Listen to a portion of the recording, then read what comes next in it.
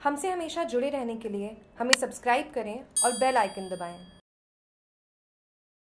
सुमेरपुर तखतगढ़ थाना की कार्रवाई। तखतगढ़ पुलिस ने बजरी के अवैध परिवहन को लेकर तीन ट्रैक्टर को पकड़ा।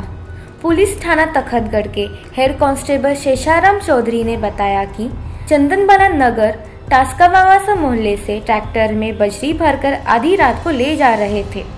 जिन्हें हाईकोर्ट के बजरी पर रोक लगाने के बावजूद अवैध बजरी खनन करने को लेकर तीन ट्रैक्टरों को पकड़ा गया।